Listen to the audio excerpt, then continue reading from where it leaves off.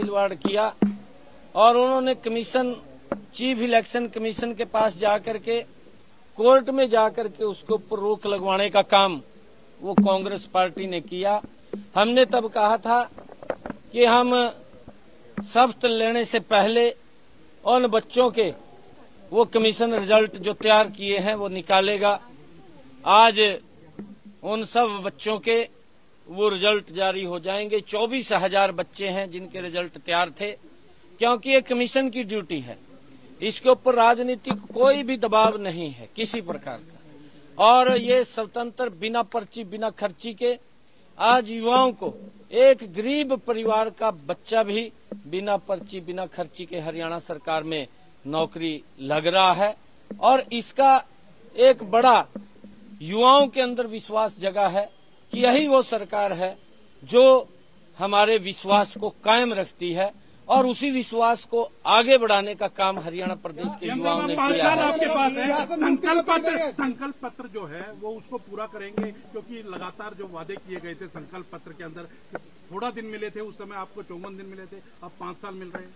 पूरे के पूरे संकल्प पत्र को जो हमने कहा है जब हमने ये जारी किया था मैंने तभी कहा था हमारा 2014 का संकल्प पत्र देख लीजिए। हमारा 2019 का संकल्प पत्र देख लीजिए।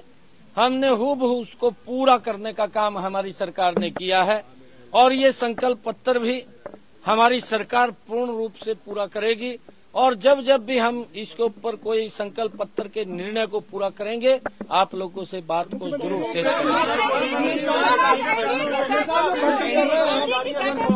चंडीगढ़ में डिप्टी सीएम यहाँ आ रहे हैं उसके ऊपर आप क्या कहना चाहेंगे? मेरे लिए ये बड़ा गर्व की बात है हरियाणा के लिए भी गर्व की बात है कि आज शपथ शपथ ग्रहण समारोह में एनडीए के तमाम बड़े नेता और पूरे देश के एनडीए के शासित राज्यों के मुख्यमंत्री उप मुख्यमंत्री वो सभी इस शपथ ग्रहण समारोह में शामिल हो रहे हैं और उसके बाद एनडीए के सभी मुख्यमंत्रियों की बैठक भी है। साहब साहब जो जो आपने भर्ती प्रक्रिया से जुड़ा सवाल है क्या नियुक्ति पत्र देने का भी कोई कार्यक्रम है आज ही? आज नहीं, नहीं, नहीं, साहब अरे जो, नहीं। जो आप कहते थे कि 24 घंटे दरवाजे खुले रहेंगे अभी भी खुले अभी भी खुले हैं। कहीं ना अभी भी मैं डेढ़ सौ लोगों को सुबह सुबह मिल करके आया हूँ। और एक वो मंजे डलवाने वाला काम था वो भी अभी जारी रहेगा? मंजे मंजे तो डाल दिए थे पहले।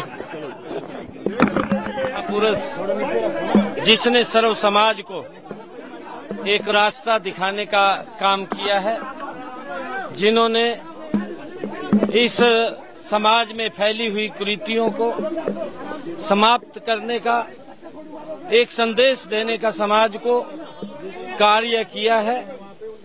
आज मेरा परम सौभाग्य है कि आज शपथ ग्रहण समारोह में जब देश के सस्वी प्रधानमंत्री आदरणीय नरेंद्र मोदी जी यहाँ शपथ ग्रहण में आ रहे हैं। आज भगवान वाल्मीकि जी महाराज की जयंती है। मुझे अवसर मिला है भगवान वाल्मीकि जी के चरणों में शीश नवाने का और उन महापुरुषों से प्रेरणा लेकर के हमारा हरियाणा प्रदेश आगे बढ़े। आज मैं सभी प्रदेशवासियों को, देशवासियों को, भगवान वाल्मीकि जी महाराज की जयंती की बहुत बहुत बधाई और शुभकामनाएँ देता हूँ। कि कहीं ना कहीं दलित समुदाय केवल वोट बैंक नहीं है बल्कि उनको असली रूप में पूछती बीजेपी है। देखिए जब से भारतीय जनता पार्टी की सरकार हरियाणा में बनी है सभी महापुरुषों की जयंतियों को राज्य स्तर के ऊपर मनाने का अवसर गौरव अगर मिला है तो भारतीय जनता पार्टी की सरकार के अंदर मिला है। सभी महापुरुष हमारे लिए आदरणीय हैं और उनकी जो शिक्षाएँ हैं, उनकी शिक्षाओं को आगे बढ़ाने का दायित्व ये हमारी सरकार का है।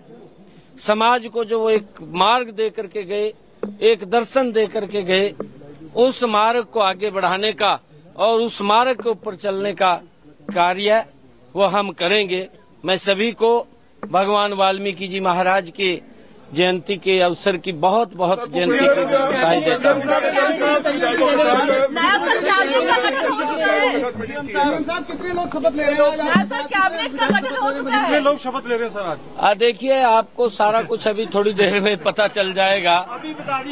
नहीं, अभी- अभी चल जाएगा। जा चुके हैं। अभी बता दीजिए। अभी आपको सभी पता चल जाएगा कुछ देर का ही समय है और उस समय के बाद शपथ ग्रहण समारोह होगा।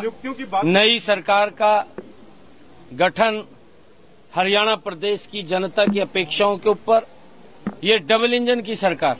आदरणीय मोदी जी के साथ मिलकर के हरियाणा को तीव्र गति से आगे बढ़ाने का काम हमारी सरकार करेगी। और आज ये पूरे हरियाणा प्रदेश के अंदर जो भी हमारे हरियाणा के लोगों ने दो करोड़ अस्सी लाख लोगों ने इस लोकतंत्र के पर्व में अपनी आस्था को जताते हुए, हरियाणा को ऊपर एक बड़ा विश्वास और मोदी जी के ऊपर एक बड़ा विश्वास किया है। ये मोदी जी की नीतियों का परिणाम है। मैं हरियाणा प्रदेश के लोगों का बहुत बहुत धन्यवाद और उनका स्वागत करता हूँ।